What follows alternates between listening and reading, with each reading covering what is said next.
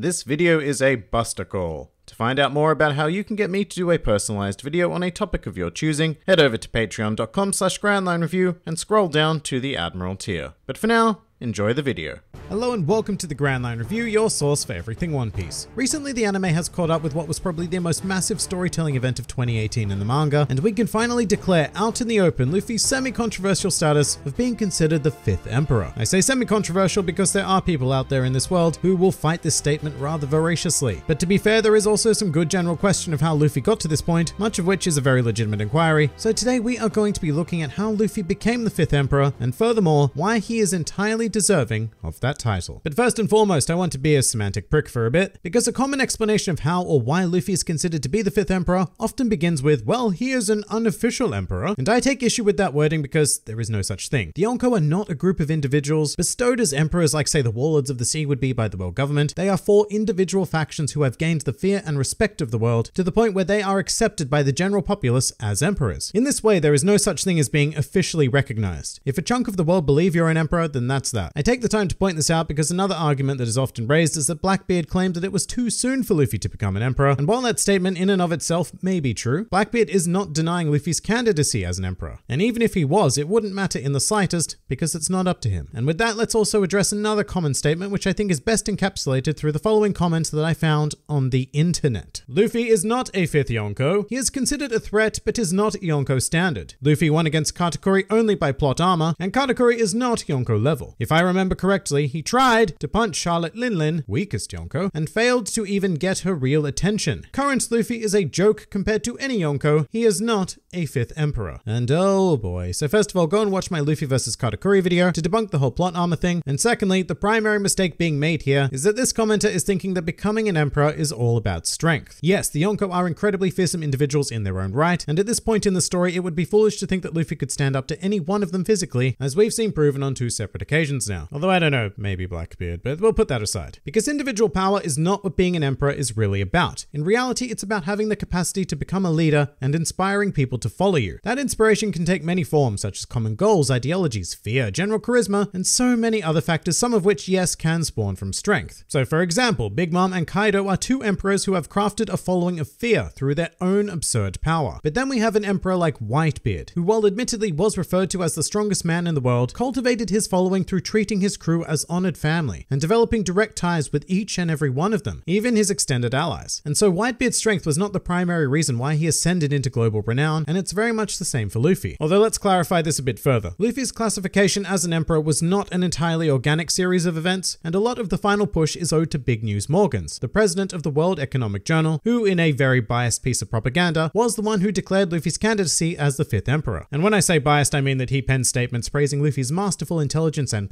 as well as the ability to convince Germa, the Sun Pirates, and the Fire Tank Pirates to follow his commands on Whole Cake Island. All of which we know is entirely false, but at the same time, the actual truth of the matter is even more astounding. As is the legacy of the last two decades of storytelling. And so to say that Morgans is the sole reason why Luffy is considered an emperor is certainly false. He simply would not have been able to make such a bold claim without Luffy's massive body of work. Let's take a brief look at that CV right now. Luffy has personally defeated three Warlords of the Sea and made allies or acquaintances with a further six, one of which has become a direct subordinate of the Straw Hat Pirates. Speaking of, Luffy commands an entire crew of individuals whose ever-growing infamy and bounty value seems only to be overshadowed by his own. And in addition to that, Luffy has spawned a mammoth following of seven fearsome pirate crews, totaling over 5,000 members who collectively refer to themselves as the Straw Hat Grand Fleet. Not to mention that Luffy makes odd alliances everywhere he goes and now holds strong ties with a number of very influential kingdoms within the world government itself. As for the world government, Luffy is the only known person in the series who has conducted an invasion of each of their three major facilities, with a full-scale attack on Enies Lobby resulting in its complete destruction, the one and only mass breakout of Impel Down in the history of the prison, and becoming one of two members of the worst generation to actually participate in the Paramount War. An event in which he was seen to face off against the three admirals, multiple warlords of the sea, including the world's greatest swordsman, Dracule Mihawk, punching Garp in the face, and yes, I know Garp let it happen, but that's not how it looked to everyone watching on the battlefield. Tanking a hit from Fleet Admiral Sengoku, standing on equal footing with Whitebeard, and being the person to free Portgas D Ace. I mean, Marineford out of context to the world is an incredible series of achievements for Luffy, and almost worthy of this status just on its own without the greater context of the series. But then there's a legendary name recognition behind Luffy. You know, stuff like how he is the son of the most wanted man in the world, or the grandson of quite possibly the greatest hero the Marines have ever known, sworn brother of the son of the Pirate King, and mentored by the right hand man of the Pirate King. There is a lot about Luffy to be revered, even if you haven't met him. In fact, I'd say especially if you haven't met him, because on paper, he is an incredible force to be reckoned with, and when you're unaware of his personality and tendencies, that could seem especially terrifying. And as much as I like to consider him equal amongst the members of the worst generation, Luffy is far and away the most dangerous and accomplished member, bar Blackbeard of course. And the final step to really elevate Luffy above his contemporaries occurred on Whole Cake Island with a direct confrontation with one of the existing emperors. And while we know that Luffy and the Straw Hats barely managed to survive the encounter with Big Mom, he did manage to beat two of her sweet commanders, worth over 800 million and 1 billion respectively, as well as be involved in a series of events that saw the entire destruction of Whole Cake Chateau, dealing Big Mom an unprecedented blow. So with all of this in mind, why shouldn't Luffy be considered an emperor? His very presence is a force of chaos far more impressive than the individual strength of any other emperor. He has amassed an astonishing following and a direct crew of incredibly notorious individuals, and he possesses one of the most impressive pedigrees of any character in the entire world. That is why someone like Big News Morgans can just stroll on in, label him the fifth emperor, and have the world just accept it. Because Luffy's prior actions and current status are deserving of it. He may not be ready for the role, in fact I highly doubt he'd even want it, but that's not going to stop his rise in the eyes of the world. To quote that Shakespeare line you've all undoubtedly heard and are sick of at this point in life, some are born great, some achieve greatness, and some have greatness thrust upon them. Luffy is actually a bizarre mixture of all three. Born with the will of D, striving to become the Pirate King, and having the following of a world thrust upon him during the journey. And as part of that journey, it is absolutely time that Luffy be considered as the fifth Emperor of the Sea.